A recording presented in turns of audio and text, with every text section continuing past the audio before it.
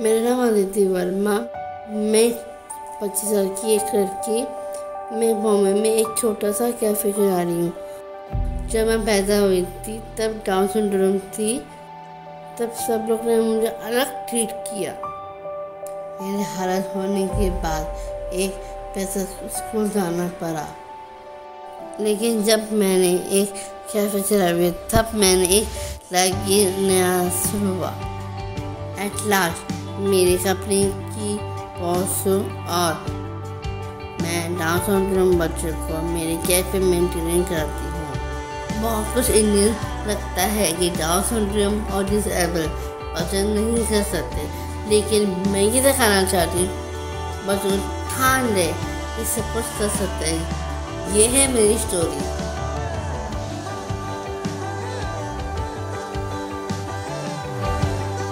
nice meeting you too for our viewers आप अपने आप को इंट्रोड्यूस करेंगे।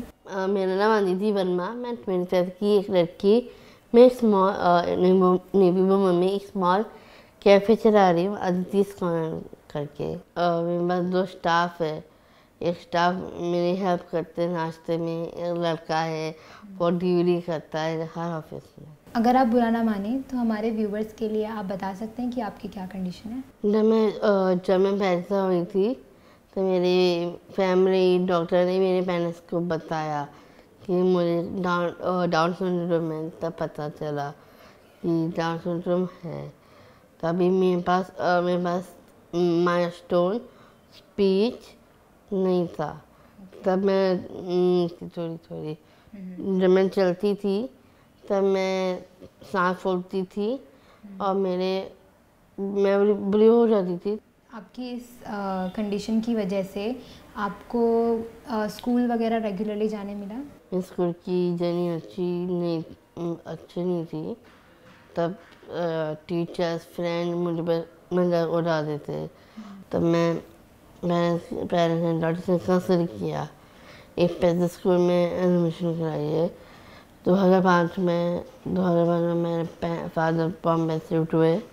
स्कूल में एडमिशन कराया जब आप छोटे थे बचपन में क्या था सराउंडिंग में लोग कैसे थे? आसपास के लोग कैसे थे? जब मैं बिल्डिंग के नीचे जाती थी खेलने के लिए तो बच्चे ने कोई भी गेम जो होते मुझे नहीं भुलाते थे। फिर मुझ पर हँसते थे। तब रोते रोते मैं ऊपर चले मेरी माँ बच्चे चले गई थी। मेरी मदर से पूछा माँ क्या क्या हुआ? तो बच्चे मुझे क्यों नहीं ले रहे? मेरी मदर बोला था ऐसा कुछ कुछ नहीं है। आप चिंता मत कीजिए। तो जो जिस तरह के मतलब डाउन सिंड्रोम के बच्चों के लिए इंडिया में किस तरह के जॉब्स अवेलेबल हैं? कौन कौन से जॉब कर पाते हैं वो बच्चे? जो भी डाउन सिंड्रोम जो जॉब जो है नहीं कर पाते बस घर पे जो पेरेंट्स हैं वो केयर कर सकते हैं बच्चे को। हम्म। जब मैं पैदा चला ट्रांसफ़र में तभी अलग अलग ट्रीट करते हैं। अलग ट्रीट तो मतलब क्या क्या प्रॉब्लम्स आती हैं उसमें उसकी वजह से? ट्रांसफ़र में एक एबिलिटी कम होती है हम्म। और थोड़ा सा समझ में कम आता है। अभी आप किस तरीके का जॉब करते हो? मैं जॉब नहीं करती मैं बिज़नेस करती हूँ। अदिति स्कूल में बिज़नेस करती हूँ बिज़नेस भी करती हूँ उड़न भी हूँ।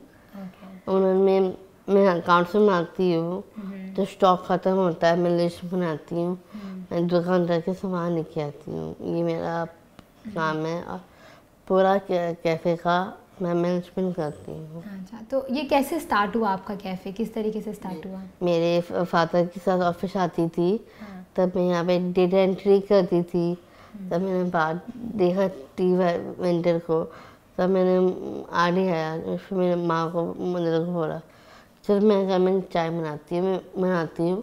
हवा फिर मैं दूँगी करके एक जाके देखा। तो मैं बदल बड़े चलो ट्राई कर देखती तो क्या होता है। फ़र्स्ट जनवरी टू थाउज़ेंड में आज खोला।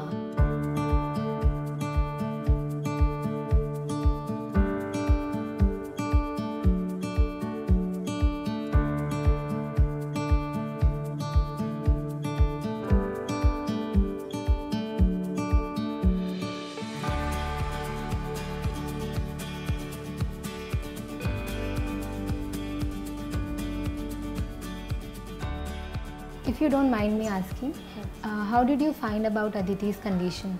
My brother-in-law is a doctor, so he told me that Aditi will be bit different with the other child. I said, what, what literally what exactly she will be because I can't understand the word Down syndrome. So he oh. said ki uh, her milestone will be delayed. Like normal child is going to sit at six uh, month age, she will be a bit delayed, like eight month, nine month. Her walking will be delayed, her uh, movements will be delayed. Then he told this is called Down syndrome, and then I asked what the Down syndrome yes. is exactly. Down syndrome is extra chromosome in all it's a genetic problem. Of course as a first child she was i started crying i went into depression. Seriously i just cried the whole night i was not able to feed her even.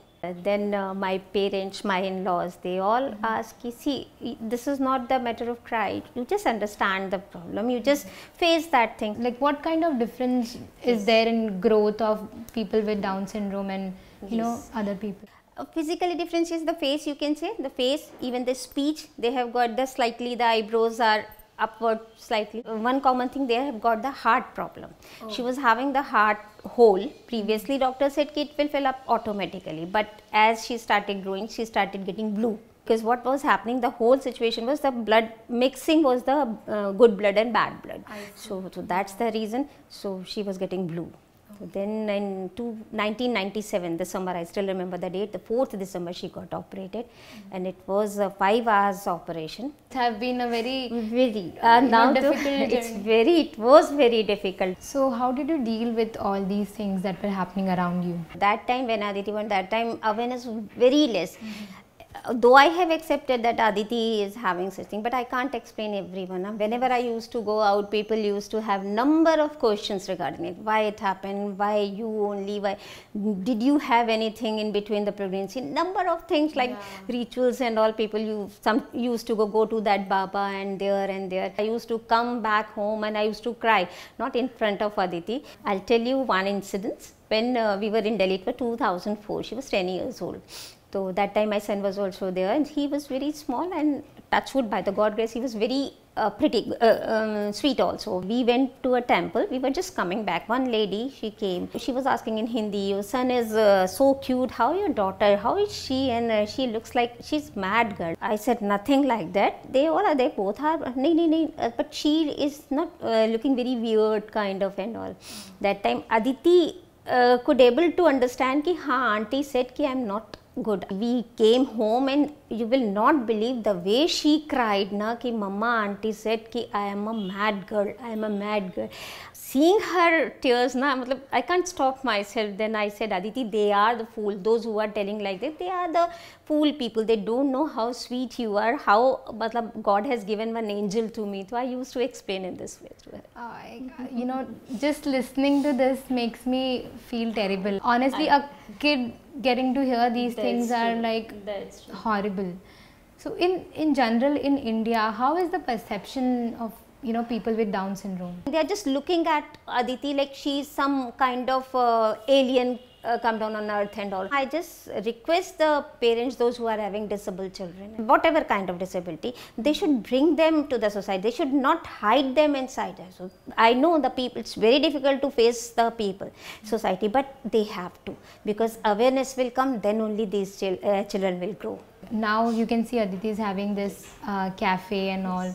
How is it for you to see her, you know, blossom like this? When she was used, she used to come and cry to you at one night and now she's taking care of the cafe sometime I use to see I I use to pinch myself की better I am dreaming और what की I can see Aditi walking around the premises all alone without my help she is talking to the customer and everybody is coming and talking to Aditi on taking the order and all मतलब I am a positive change in Aditi. Of course, I get I am getting strength also.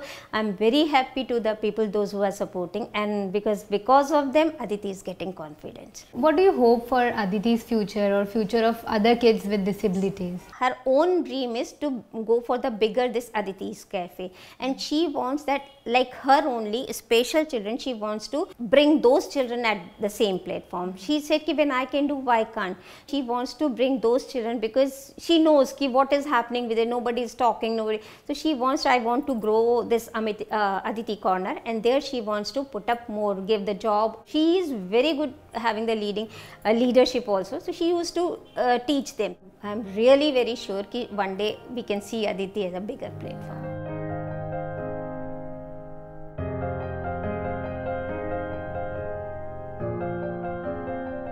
बचपन से लेके आज तक आपके लिए सबसे बड़ी मुश्किल की बात क्या रही है? जब मैं छोटी थी, जब मैं ऑपरेशन के बाद स्कूल गई थी, कोई टीचर्स फ्रेंड मेरे साथ फ्रेंड मेरे साथ के बाहर नहीं बुलाते खेलने के लिए और टीचर अच्छे से तो ध्यान नहीं देते थे। बचपन से अभी तक कोई भी ऐसा चैनल मुश्किल नहीं है कि मैं कर नहीं पाऊँ। मैं हर चैनल को एपसेट किया। अभी आपने कैफ़े खोल लिया है अपना और आप काफ़ी अच्छे से हैंडल भी करती हैं कैफ़े को अपने अकाउंट्स देखती हैं सब होता है तो उसके बाद भी कुछ लोग आपको ऐसे ही देखते हैं कि ये डाउन सिंड्रोम वाली लड़की है या आपको एक नॉर्मल लड़की की तरह देखते हैं नॉर्मल लड़की की तरह देखते हैं सपोर्ट हम्म। भी करते हैं अच्छा फ्रेंड भी है हम्म। आए थे देखने के लिए मिलने के लिए हम्म। उनको अच्छा लगा तो अदितिस कैफ़े खोलने के अदितिस कॉर्नर खोलने के बाद आपको क्या लगता है आप में किस तरीके के चेंजेस आए हैं? कॉन्फिडेंस और एक्टिव अगर अदिति कॉर्नर नहीं होता तो घर पे बेड पे बैठे बैठे टीवी देखती थी मेरे पास खाने का सब कुछ होता बैठे बैठे खाती रहती हूँ। इसलिए खोलने के बाद एक्टिव हो गई। तो कस्टमर के बाद आना नीचे जाना वो एक्टिव और कॉन्फिडेंस जब कोई भी कस्टमर आते हैं बात करते तब और कॉन्फिडेंस आने लगा। हाँ। जैसे कि आप लोग का इंटरव्यू लिया मेरा हाँ। उसमें उसमें कॉन्फिडेंट बढ़ने लगा। और आपका अदिति कॉर्नर के बारे में और क्या फ्यूचर प्लान है? मेरा फ्यूचर प्लान ये है कि मेरा एक बड़ा सा होटल होना चाहिए। हाँ। उसमें से एक नया एक नया प्लेटफॉर्म देना चाहती हूँ। ये पेट्रोल बच्चे को कि मैं आगे जाके एम्प्लॉयमेंट करूँ मोटिवेट करूँ। मेरी डेडलाइन है।